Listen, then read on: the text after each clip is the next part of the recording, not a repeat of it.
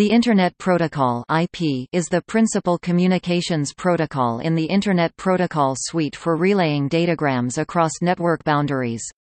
Its routing function enables internetworking, and essentially establishes the Internet. IP has the task of delivering packets from the source host to the destination host solely based on the IP addresses in the packet headers. For this purpose, IP defines packet structures that encapsulate the data to be delivered. It also defines addressing methods that are used to label the datagram with source and destination information. Historically, IP was the connectionless datagram service in the original transmission control program introduced by Vint Cerf and Bob Kahn in 1974, the other being the Connection-Oriented Transmission Control Protocol TCP.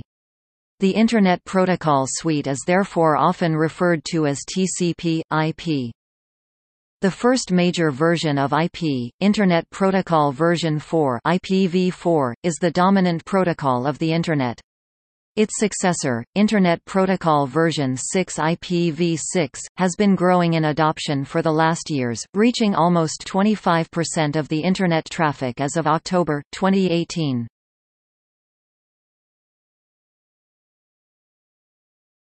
Topic: Function.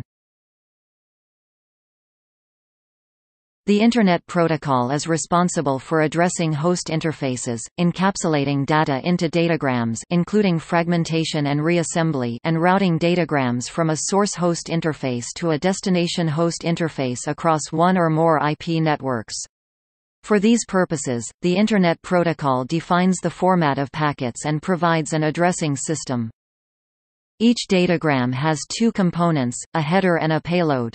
The IP header includes source IP address, destination IP address, and other metadata needed to route and deliver the datagram.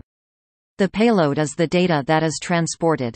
This method of nesting the data payload in a packet with a header is called encapsulation. IP addressing entails the assignment of IP addresses and associated parameters to host interfaces. The address space is divided into subnetworks, involving the designation of network prefixes. IP routing is performed by all hosts, as well as routers, whose main function is to transport packets across network boundaries.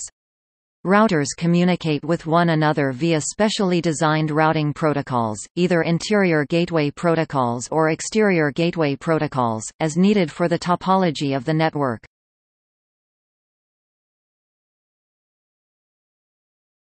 Topic: Version history. In May 1974, the Institute of Electrical and Electronic Engineers IEEE published a paper entitled, A Protocol for Packet Network Intercommunication. The paper's authors, Vint Cerf and Bob Kahn, described an internetworking protocol for sharing resources using packet switching among network nodes.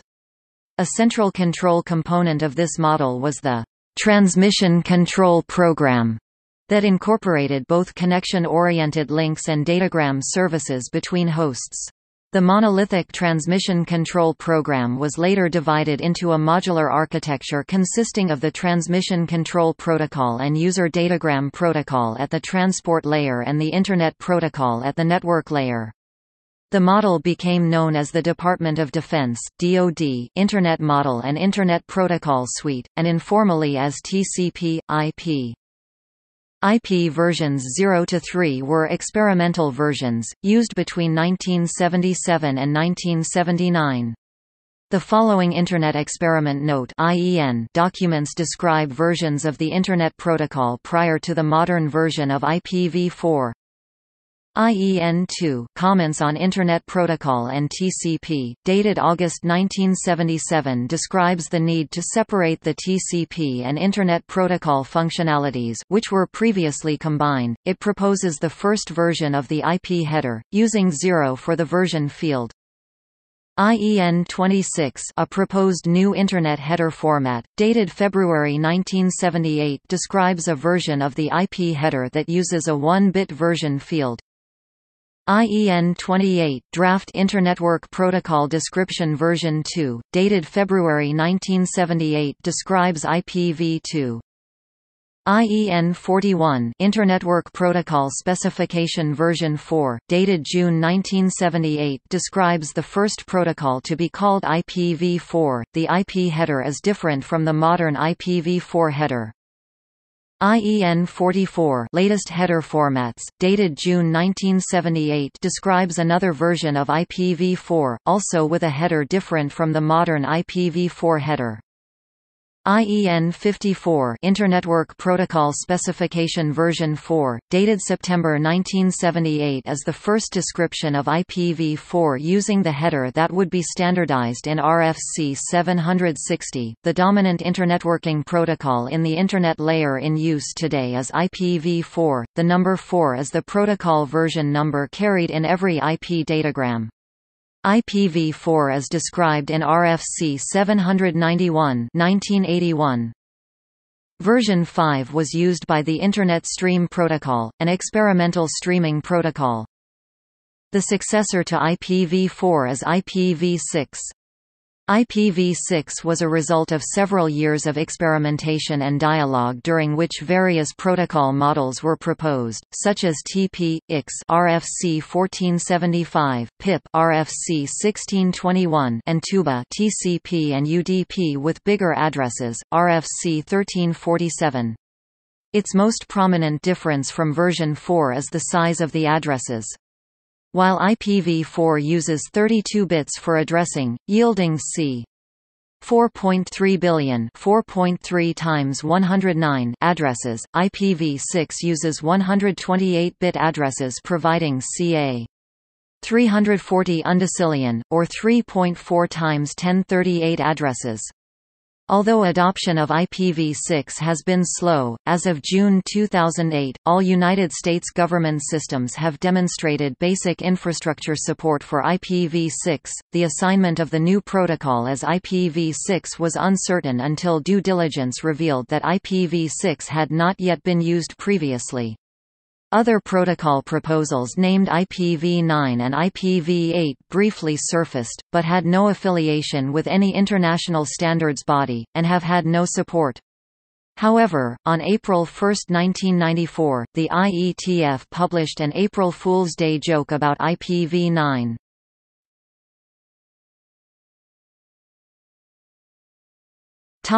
Reliability The design of the Internet Protocol Suite adheres to the end-to-end -end principle, a concept adapted from the Cyclades project. Under the end-to-end -end principle, the network infrastructure is considered inherently unreliable at any single network element or transmission medium and is dynamic in terms of availability of links and nodes. No central monitoring or performance measurement facility exists that tracks or maintains the state of the network. For the benefit of reducing network complexity, the intelligence in the network is purposely located in the end nodes. As a consequence of this design, the Internet Protocol only provides best effort delivery and its service is characterized as unreliable. In network architectural language, it is a connectionless protocol, in contrast to connection-oriented communication. Various error conditions may occur, such as data corruption, packet loss and duplication. Because routing is dynamic, meaning every packet is treated independently, and because the network maintains no state based on the path of prior packets, different packets may be routed to the same destination via different paths, resulting in out-of-order delivery to the receiver. All error conditions in the network must be detected and compensated by the participating end nodes. The upper layer protocols of the Internet Protocol Suite are responsible for resolving reliability issues.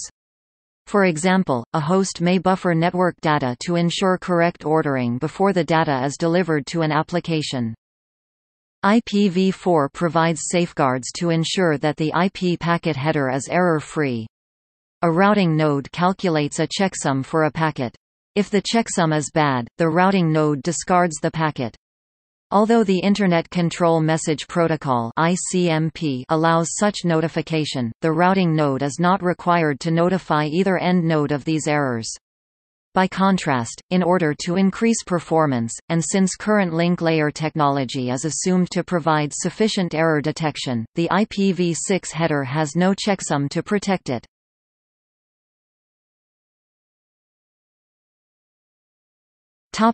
Link capacity and capability The dynamic nature of the Internet and the diversity of its components provide no guarantee that any particular path is actually capable of, or suitable for, performing the data transmission requested. One of the technical constraints is the size of data packets allowed on a given link. Facilities exist to examine the maximum transmission unit MTU size of the local link and path MTU discovery can be used for the entire intended path to the destination. The IPv4 internetworking layer has the ability to automatically fragment the original datagram into smaller units for transmission. In this case, IP provides reordering of fragments delivered out of order. An IPv6 network does not perform fragmentation or reassembly, and as per the end-to-end -end principle, requires end stations and higher layer protocols to avoid exceeding the network's MTU. The Transmission Control Protocol (TCP) is an example of a protocol that adjusts its segment size to be smaller than the MTU. The User Datagram Protocol (UDP) and ICMP disregard MTU size, thereby forcing IP to fragment oversized datagrams.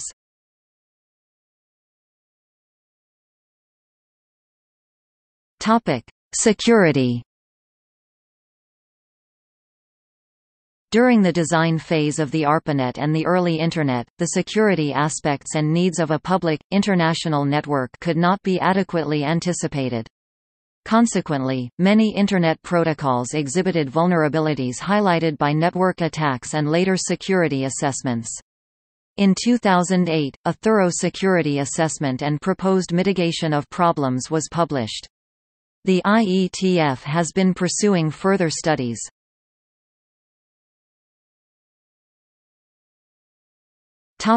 See also List of IP protocol numbers. Next generation network. IP forwarding algorithm. ICANN